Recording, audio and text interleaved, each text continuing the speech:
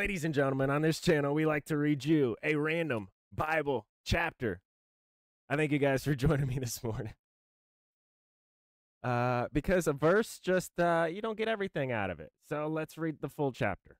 There we go. Much better. Much better. Much better. All right. Here we go. Three, two, one. Ezra four. Here we go. Ezra four. Now, when the enemies of Judah and Benjamin heard that the people of exile were building a temple to the Lord God of Israel, they approached Zerubbabel and the heads of the fathers' households and said to them, Let us build with you, for we like you, seek your God, and we have been sacrificing to him since, since the days of Esarhaddon, king of Assyria, who brought us up here. But Zerubbabel and, and Jeshua, the rest of the heads of the fathers' households of Israel said to them, You have nothing in common with us in building a house to our God, but we ourselves will together build the Lord God of Israel as King Cyrus, the king of Persia, has commanded us. Then the people of the land discouraged the people of Judah and frightened them from building, and hired counselors against them to frustrate their counsel all the days of Cyrus, king of Persia, and even until the reign of Darius, king of Persia. Now, in the reign of Ahasuerus, in the beginning of his reign, they wrote an accusation against the inhabitants of Judah and Jerusalem. And in the days of Artaxerxes, Bishlam, Mithredath, Habil, and the rest of his colleagues wrote to Artaxerxes, king of Persia, and the text of the letter was written in Aramaic and translated from Aramaic.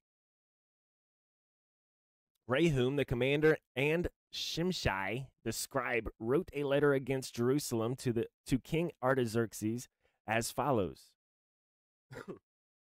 then wrote Rehum, the commander, and Shimshai, the scribe, and the rest of their colleagues, the judges and the lesser governors, the officials, the secretaries, the men of Erech, the Babylonians, the men of Susa, that is, the Elamites, and the rest of the nations which the great and honorable Osnapper deported and settled in the city of Samaria and in the rest of the reign beyond the river. Now this is the copy of the letter which they sent to him. To kings to King Artaxerxes, your servants, the men in the region beyond the river, and now let it be known to the king that the Jews who came up from you have come to us at Jerusalem. They are rebuilding the rebellious and evil city and are finishing the walls and repairing the foundations. Now let it be known to the king that if the if that city is rebuilt and the walls are finished, they will not pay tribute, custom or toll, and it will damage the revenue of the kings. Now because we are in the service of the palace and it is not fitting for us to see the king's dishonor, therefore we have sent and informed the king, so that a search may be made in the record books of your fathers. And you will discover in the record books and learn that that city is a rebellious city and, a, and damaging to kings and provinces, and that they have incited revolt within it in past days. Therefore, that city was laid waste. We inform the king that if that city is rebuilt and the walls finished, as a result, you will have no possession in the province beyond the river. Then the king sent to, an answer to Rehum, the commander, to Shimshai, the scribe, and to the rest of their colleagues who live in Samaria and in the rest of the provinces beyond the river. Peace, and now the document which you sent to us has been translated and read before me. A decree has be, been issued by me, and a search has been made, and it has been discovered that the city has risen up against the kings in past days, that rebellion and revolt have been perpetrated in it that mighty kings have ruled over Jerusalem, governing all the provinces beyond the river, and that tribute, custom, and toll were paid to them. So now issue a decree to make these men stop work, that this city may not be rebuilt until a decree is issued by me.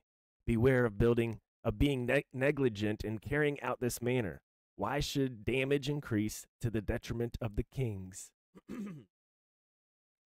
then, as soon as the copy of King a King Artaxerxes' document was read before Rehum and Shimshai, the scribe and their colleagues, they went in haste to Jerusalem to the Jews and stopped them by force of arms. Then work on the house of God in Jerusalem ceased, and it was stopped until the second year of the reign of Darius, king of Persia.